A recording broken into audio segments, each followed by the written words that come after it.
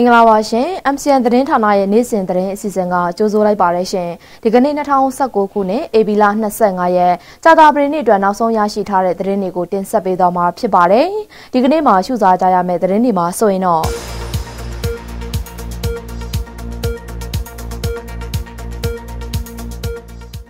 နိုင်ငံတော်တိုင်ပင်ခံပုဂ္ဂိုလ်ဒေါ်အောင်ဆန်းစုကြည်နဲ့တရုတ်နိုင်ငံသမ္မတရှီကျင်းဖျင်တို့တွေ့ဆုံဆွေးနွေးခဲ့တဲ့သတ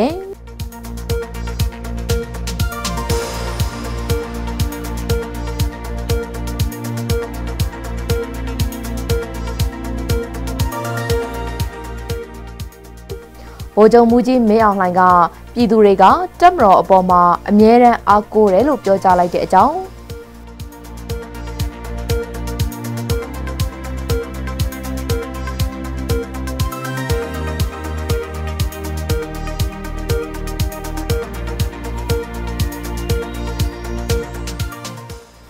တက်မတော်ကလေးလကြာအပြစ်ရက်စဲတာဟာဟန်ဆောင်အပြစ်ရက်စဲတာလို့မြောက်ပိုင်းစီရေးမဟာမိတ်၃ဘွဲကပြောကြားလိုက်တဲ့တဲ့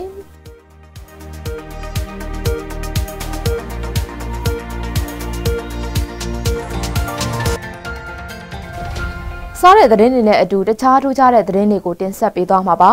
အခုပထမအဦးဆုံးတင်ဆက်ပေးသွားမှာကတော့ရဝန်းနဲ့ပိုးလမ်းမအပြည်ပြည်ဆိုင်ရာပူးပေါင်းဆောင်ရွက်ရေးဖိုရမ်တက်ရောက်ဖို့အတွက်တရုတ်နိုင်ငံကိုရောက်ရှိနေတဲ့နိုင်ငံတော်တိုင်ပင်ခံပုဂ္ဂိုလ်ဒေါအောင်ဆန်းစုကြည်နဲ့တရုတ်သမ္မတမစ္စတာရှီကျင်းဖျင်တို့ဖိုရမ်မတိုင်ခင်တွေ့ဆုံဆွေးနွေးခဲ့ကြပါတယ်။ အဲ့ဒီတွေ့ဆုံပွဲမှာနေဆက်ဒေတာတည်ငြိမ်အေးချမ်းရေးနေရန်ဆွခွာသူတွေပြန်လည်လက်ခံရေးကုလသမဂ္ဂအပါအဝင်နိုင်ငံတကာမျက်နှာစာမှာနှစ်နိုင်ငံဆက်လက်ပူးပေါင်းဆောင်ရွက်ရေးတွေကိုဆွေးနွေးခဲ့ကြတာပါ။ ဒါအပြင်2020ပြည့်နှစ်မှာကြာရောက်မဲ့မြန်မာတရုတ်နှစ်နိုင်ငံတပ်တပံဆက်ဆံရေးနှစ်80ပြည့်မှာနှစ်နိုင်ငံအကြားကဘာလှည့်ခရီးသွားလုပ်ငန်းသတင်းပြန်ကြားရေးလုပ်ငန်းယဉ်ကျေးမှုလူငယ်ဖွံ့ဖြိုးတိုးတက်ရေးစတဲ့ကဏ္ဍပေါင်းစုံမှာပူးပေါင်းဆောင်ရွက်မှုတိုးမြှင့်ရေးဤပညာပူးပေါင်းဆောင်ရွက်ရေးလုပ်ငန်းတွေအတွက်မြန်မာအစိုးရကိုတရုတ်ယွမ်တန်းတထောင်အကူအညီပေးရေးကိစ္စတွေကိုထည့်သွင်းပြီးတော့ဆွေးနွေးခဲ့ကြပါတယ်ရှင်။ နောက်ထပ်တင်ဆက်ပေးသွားမှာကတော့ပြည်သူတွေကတက်မတော်အပေါ်မှာအမြဲတမ်းအားကိုးအားထားတယ်လို့တက်မတော်ကာကွယ်ရေးဦးစီးချုပ်ဗိုလ်ချုပ်မှုကြီးမင်းအောင်လှိုင်ကပြောကြားလိုက်ပါတယ်။ရုရှားနိုင်ငံကိုအလဲအပတ်ရောက်ရှိနေတဲ့တက်မတော်ကာကွယ်ရေးဦးစီးချုပ်ဗိုလ်ချုပ်မှုကြီးမင်းအောင်လှိုင်ကဒီကနေ့ဧပြီလ25ရက်နေ့မှာရုရှားနိုင်ငံကသတင်းမီဒီယာသမားတွေကိုပြောကြားခဲ့တာပါ။ လွတ်လပ်ရေးရပြီးနောက်ပိုင်းဆိုးရွားတဲ့ပဋိပက္ခတွေကြားတဲ့ကပြည်သူတွေကိုအများကြီးအကာအကွယ်ပေးခဲ့ရတာကြောင့်ပြည်သူတွေဟာတက်မတော်အပေါ်မှာအမြဲတမ်းအားကိုးအားထားခဲ့ရတယ်လို့တက်မတော်ကာကွယ်ရေးဦးစီးချုပ်ဗိုလ်ချုပ်မူကြီးမင်းအောင်လှိုင်ကပြောကြားခဲ့ပါတယ်ရှင်။ ဆက်လက်ပြီးတော့တင်ဆက်ပေးသွားမှာကတော့တက်မတော်ကလေးလကြာအပြစ်ရက်ခဲ့တာဟာဟန်ဆောင်ပြီးတော့အပြစ်ရက်ခဲ့တာဖြစ်တယ်လို့မြောက်ပိုင်းစစ်ရေးမဟာမိတ်၃ဘွဲကကြေညာချက်ထုတ်ပြန်လိုက်ပါတယ်။အဲ့ဒီကြေညာချက်ကိုအေဗီလာ24ရက်နေ့ကမြောက်ပိုင်းစစ်ရေးမဟာမိတ်၃ဘွဲဖြစ်တဲ့တအောင်းလက်နက်ကိုင်အဖွဲ့ TNLA ရခိုင်လက်နက်ကိုင်အဖွဲ့ AA နဲ့ကိုကန့်အဖွဲ့ MNDAA တို့ကထုတ်ပြန်ခဲ့တာပါ။အဲ့ဒီထုတ်ပြန်ချက်ထဲမှာတက်မတော်က စစ်တိုင်း၅တိုင်းမှာလေးလကြာအပြစ်ခတ်ရက်စဲထားခြင်းဟာဟန်ဆောင်စစ်ရက်စဲခြင်းလို့ဆွဆွဲထားပြီးအေအေအဖွဲ့ကိုထိုးစစ်အရှိန်တွေဆက်လုပ်နေမယ်ဆိုရင်စစ်ရေးမဟာမိတ်သုံးဖွဲ့အနေနဲ့မဟာမိတ်ပြည်သားစွာလှုပ်တင်လှုပ်ထိုက်တာတွေကိုလှုပ်ဆောင်သွားမယ်လို့ဖော်ပြထားပြီးတော့နောက်ဆုံးတစ်ချက်အနေနဲ့ကတော့မြန်မာနိုင်ငံရဲ့ငြိမ်းချမ်းရေးအမြန်ဖော်ဆောင်ဖို့အတွက်တရုတ်နိုင်ငံကဂျားဝင်စစ်ဆက်ပေးဖို့တောင်းဆိုခဲ့ပါတယ်ရှင်။ တစ်ဆက်တည်းမှာပဲမြောက်ပိုင်းစစ်ရေးမဟာမိတ်၃ဘွဲ့ဖြစ်တဲ့တအောင်းလက်နက်ကိုင်အဖွဲ့ TNLA ရခိုင်လက်နက်ကိုင်အဖွဲ့ AA နဲ့ကိုကန်အဖွဲ့ MDAA တို့ရဲ့ထုတ်ပြန်ချက်ထဲမှာတရုတ်ကိုဂျားဝင်ဆွေးနွေးပေးလိုတာပဲအဓိကတွေ့ရတယ်လို့တက်မတော်ကပြောဆိုလိုက်ပါတယ်။ အဲ့ဒီထုတ်ပြန်ချက်ထဲမှာပါရှိတဲ့အချက်တွေနဲ့ပတ်သက်ပြီးတော့2018ခုနှစ်ဒီဇင်ဘာလကထုတ်ပြန်ခဲ့တဲ့ထုတ်ပြန်ချက်ရဲ့ဒုတိယအပိုင်းနဲ့အခုထုတ်ပြန်လိုက်တဲ့နောက်ဆုံးအပိုင်းမှာပါရှိတဲ့ငြိမ်းချမ်းရေးဖြစ်စဉ်နဲ့ပတ်သက်ပြီးတော့တရုတ်ရဲ့ဂျားဝင်ဆွေးနွေးမှုကိုအဓိကတွေ့ရတယ်လို့တပ်မတော်သတင်းမှန်ပြန်ကြားရေးအဖွဲ့အတွင်းရေးမှူးဖြစ်တဲ့ဗိုလ်မှူးချုပ်စောမင်းထွန်းကပြောပါတယ်။ မြောက်ပိုင်းစစ်ရေးမဟာမိတ်သုံးဘွဲဟာဧပြီလ24ရက်နေ့ကကြေညာချက်တစ်စောင်ထုတ်ပြန်ခဲ့ပြီးတော့အဲ့ဒီကြေညာချက်ထဲမှာတက်မတော်ကစစ်တိုင်း၅တိုင်းမှာလေးလကြာအပြစ်ခတ်ရက်စဲထားခြင်းဟာဟန်ဆောင်စစ်ရက်စဲခြင်းလို့ဆွဆွဲထားတာပါဒါအပြင် AA ကိုထိုးစစ်အရှိန်တွေဆက်လုပ်နေမယ်ဆိုရင်စစ်ရေးမဟာမိတ်သုံးဘွဲ့အနေနဲ့မဟာမိတ်ပြည်သားစွာလှုပ်တဲ့လှုပ်ထိုက်တာတွေကိုလှုပ်ဆောင်သွားမယ်လို့ဖော်ပြထားပြီးတော့နောက်ဆုံးတစ်ချက်အနေနဲ့ကတော့ မြန်မာနိုင်ငံရဲ့ငြိမ်းချမ်းရေးအမြန်ဖော်ဆောင်ဖို့အတွက်တရုတ်နိုင်ငံကဂျားဝင်ဆစ်ဆက်ပေးဖို့ထည့်သွင်းထုတ်ပြန်ခဲ့တာဖြစ်ပါတယ်ရှင်။ဒီကနေ့ရဲ့ပထမအဦးဆုံးသတင်းပေးပို့ချက်အနေနဲ့တင်ဆက်ပေးသွားမှာကတော့တမတော်ကိုဒဇိမ့်စိတ်ကြီးညိုလာပြီလို့ဒါရိုက်တာမင်းထင်ကိုကိုကြီးကဒီကနေ့ရုံးထုတ်မှာပြောဆိုလိုက်ပါတယ်။ဒီအကြောင်းပြည့်စုံကိုတော့ MCN သတင်းတော်ဆိုင်းဟန်ကတင်ဆက်ပေးထားပါတယ်ရှင်။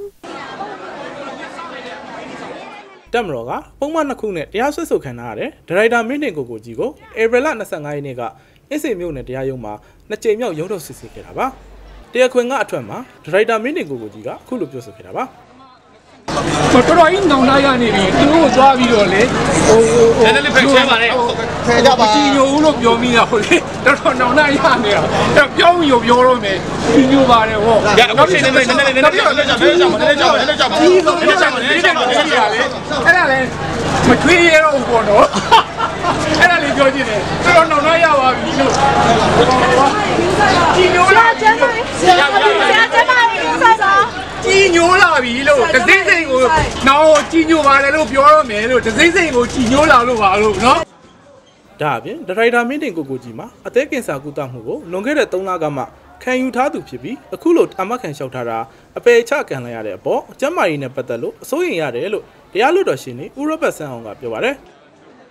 မလျောဩဇာသုံးဆွဲနိုင်တဲ့အနေအထားမရှိပါဘူးတရလိုကိုနိုင်ကဝန်ခံထားတော့လည်းပဲ မလာဒီယုံတော်ကအာမခံကိုဆက်လက်ပြီးတော့ညှင်းပယ်တဲ့အတွက်သူ့ရဲ့ကျမ်းမာရေးအခြေအနေဟာစိုးရိမ်စရာတော့ရှိပါတယ်။ဘာလို့အသေးတချမ်းကိုလှီးထုတ်ထားရတဲ့အပြီးနှလုံးယောဂနဲ့ကြောက်ကဝေဒနာလေးရှိနေတော့တော်တော်လေးတော့ခက်ခဲတယ်ဗျာ တက်မတော်နဲ့ကာကွယ်ရေးဦးစီးချုပ်ကိုဂုံသိက္ခာကြဆင်းအောင်လှုံ့ဆော်တယ်လို့ဆိုပြီးရန်ကုန်တိုင်းစစ်ဌာနချုပ်ကဒုတိယဗိုလ်မှူးကြီးလင်းထွန်းကဒါရိုက်တာမင်းထင်ကိုကိုကြီးကိုဆက်သွယ်ရေးဥပဒေပုံမှာ60ကြောက်ကကြီးပုံမှာ905ကားတို့နဲ့တရားစွဲဆိုခဲ့တာဖြစ်ပါတယ်ခင်ဗျာ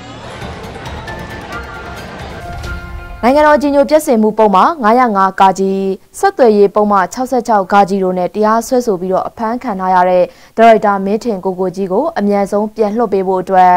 IDFA နဲ့ IFFR တို့ကတောင်းဆိုလိုက်ပါတယ်။ ကဘာတုံးမှာရှိတဲ့ရုပ်ရှင်ထုတ်လုပ်သူများရုပ်ရှင်လုပ်ငန်းကျွမ်းကျင်သူများရုပ်ရှင်ပွဲတော်များနဲ့ရုပ်ရှင်ဆိုင်ရာအဖွဲ့အစည်းများကဒါရိုက်တာမင်းထင်ကိုကိုကြီးမကြသေးမီကဖမ်းဆီးခံရမှုကိုတုံ့လှုပ်မိကြောင်းနဲ့အမြန်ဆုံးလွှတ်ပေးဖို့တောင်းဆိုကြောင်းသတင်းထုတ်ပြန်ထားပါတယ်။ဒါရိုက်တာမင်းထင်ကိုကိုကြီးအမှုကိုအင်းစိန်မြို့နယ်မြောက်ပိုင်းခရိုင်တရားရုံးကဒီကနေ့ရုံးချိန်မှာဒုတိယအကြိမ်မြောက်အာမခံပယ်ချလိုက်ပါတယ်။ ဒါရိုက်တာမင်းထင်ကိုကိုကြီးကိုတက်မတော်ကတရေလိုလုပ်ပြီးတော့ပုံမှန်66ကကြီးပုံမှန်905ကကြီးတို့နဲ့တရားစွဲဆိုထားတဲ့အမှုဒီကနေ့အေဘီလာ25ရက်နေ့မနေ့ကအင်းစိန်မြို့နယ်တရားရုံးမှာအာမခံလျှောက်ထားခဲ့ရမှာတော့တရားရုံးကဒုတိယအကြိမ်ပယ်ချခဲ့တာပါဒါရိုက်တာမင်းထင်ကိုကိုကြီးဟာအသေးကန်ဆာဝေဒနာခံစားနေရသူဖြစ်ပြီးတော့အခုလိုအာမခံပယ်ချခံရတဲ့အတွက်သူ့ရဲ့ကျန်းမာရေးအခြေအနေစိုးရိမ်ရတယ်လို့တရားလွှတ်တော်ရှင်းနေဦးရောဘတ်စန်းအောင်ကပြောပါတယ်ရှင်။ ဆက်လက်ပြီးတော့တင်ဆက်ပေးသွားမှာကတော့မြန်မာနိုင်ငံရဲ့ဖွံ့ဖြိုးရေးလုပ်ငန်းတွေနဲ့ဤပညာပူးပေါင်းဆောင်ရွက်ရေးလုပ်ငန်းတွေအတွက်မြန်မာအစိုးရကိုတရုတ်အစိုးရကယွမ်တန်းတထောင်ထောက်ပံ့ပေးအပ်သွားဖို့ရှိနေပါတယ်။ဧပြီလ24ရက်နေ့ကရဝန်းနဲ့ပိုလန်မှပြည်ပြည်ဆိုင်ရာပူးပေါင်းဆောင်ရွက်ရေးဖိုရမ်တက်ရောက်ဖို့တရုတ်နိုင်ငံကိုရောက်ရှိနေတဲ့နိုင်ငံတော်တိုင်ပင်ခံပုဂ္ဂိုလ်ဒေါအောင်ဆန်းစုကြည်နဲ့တရုတ်သမ္မတမစ္စတာရှီကျင်းဖျင်တို့ဖိုရမ်မတိုင်ခင်တွေ့ဆုံဆွေးနွေးမှုအပြီးမှာပြုလုပ်တဲ့သတင်းထုတ်ပြန်ချက်မှာအဲ့ဒီလိုဖော်ပြထားတာပါ။ အဲ့ဒီတွဲဆောင်ဆွေးနွေးမှုအတွင်းမှာပဲမြန်မာနိုင်ငံရဲ့ငြိမ်းချမ်းရေးနဲ့အမျိုးသားပြည်လည်တည်မြဲရေးအတွက်ကြိုးပမ်းအားထုတ်မှုတွေကိုတရုတ်အစိုးရကဆက်လက်ကူညီပေးသွားမယ့်အပြင်နယ်စပ်ဒေသတည်ငြိမ်အေးချမ်းရေးနဲ့တရားဥပဒေစိုးမိုးရေးကိစ္စရပ်တွေကိုပါပူးပေါင်းဆောင်ရွက်ဖို့ဆွေးနွေးခဲ့ကြပါတယ်ရှင်။ကိုင်းတိုင်းဒေသကြီးမုံရွာမြို့နယ်ကြောက်ကာတောင်ရွာနဲ့မြောက်ရွာရှိတပိုင်းတနန်းရွန်းထဲလောက်ကင်နေသူတွေဟာပွင့်လင်းရာသီရောင်းအားကောင်းလာတာကြောင့်စီးပွားရေးအဆင်ပြေနေကြတာပါ။ လုံးရလို့လို့ရှင်ဝါကတော့၅လုံးလောက်ကုန်တယ်။အဲ့ဒါဆိုရင်၄000 5000လောက်တော့ကိုနေ့တော့တော့ရတယ်လေ။အဲ့ကိုနေ့တော့ရတာကိုကိုအနေနဲ့တွေ့ရတာဒီနေဘူးတဲ့လည်းမသွားရဘူးပေါ့နော်။ကိုရွာအိမ်နေလည်းအများနဲ့နေနေရတယ်။အဲ့ဒါကြောင့်မလုပ်ငန်းကိုင်ကလည်းအကုန်ဆင်ပြေတယ်။ရွနဲ့ပြုတ်လို့ရောင်းချသူတွေဟာယခုလိုရာသီမှာအလှပွဲမင်္ဂလာဆောင်ပွဲတွေပေါ်များတာဖြစ်တဲ့ပွင့်လင်းရာသီဖြစ်တဲ့အတွက်မင်္ဂလာအုပ်ဟာရွနယ်တွေထဲမှာရောင်းအားအကောင်းဆုံးဖြစ်နေတာပါမင်္ဂလာရာသီဖြစ်တဲ့အတွက်မင်္ဂလာအုပ်ရောင်းအားကောင်းပါတယ် အဲကိုယ်ရည်တို့လက်ဖက်ရည်တို့ဆိုတာလည်းကျွန်တော်တို့ထုတ်လုပ်ပါတယ်ဟိုအနေချင်းပေါ့ဗျာဟိုဒီမင်္ဂလာအုပ်လို့တော့လုံးရာနဲ့ချီထောင်နဲ့ချီလို့မထုတ်ဘူးဗျာအဲ့ဒါတော့ကျွန်တော်တို့ရွန်းတဲ့နဲ့ပတ်သက်တာတော့ကြောက်ကမှဘာမစိုးအကုန်ရနိုင်ပါတယ်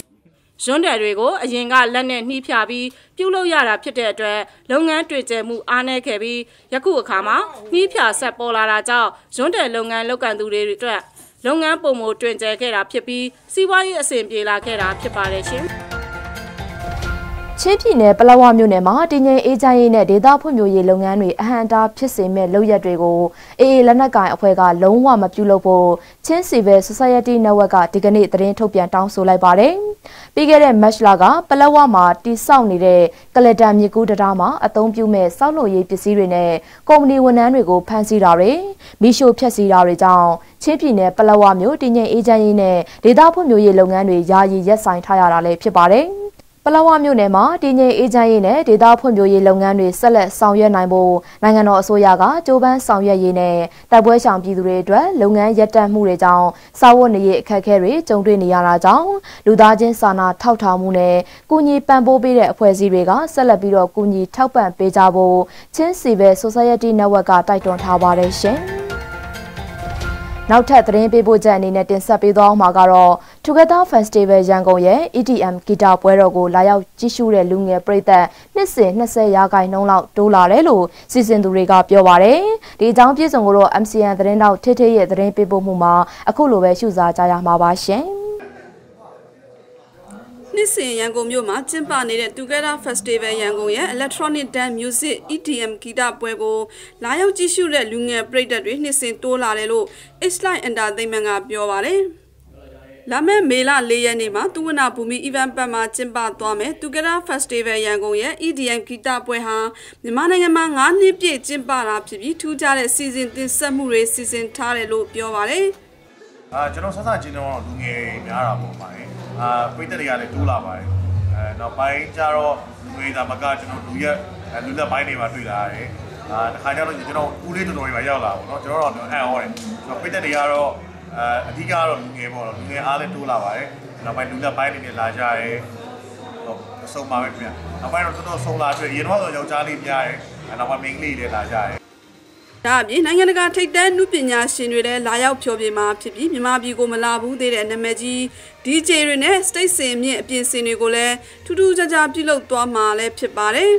။လာရောက်ဖြောပြမဲ့နုပညာရှင်တွေပေါ့နော်။ဒီနုပညာရှင်အားလုံးကတကယ်နိုင်ငံခြားမှာအရင်နာမည်ကြီးနေတဲ့ထိပ်တန်းနုပညာရှင်တွေများစွာပါဝင်လာဖြစ်ပါတယ်။ပြီးတော့မြန်မာနိုင်ငံကိုလုံးဝမလာရောက်ဘူးတည်း DJ ပေါ့နော်။အဲ့ပြင်လာမကသေးကျွန်တော်တို့ဒီ stage ပြင်ဆင်တဲ့အစလုံးဝ brand new stage တခါမှမမြင်ဘူးတဲ့ stage တွေချပြတော့ဒီမှာလုံးဝအာလှလှပပခန်းခန်းနာနာအားလုံးလူကပြုံးလို့ရအောင်ကျွန်တော်စူးစမ်းပန်းစားအများကြီးပြင်ဆင်လာပါတယ်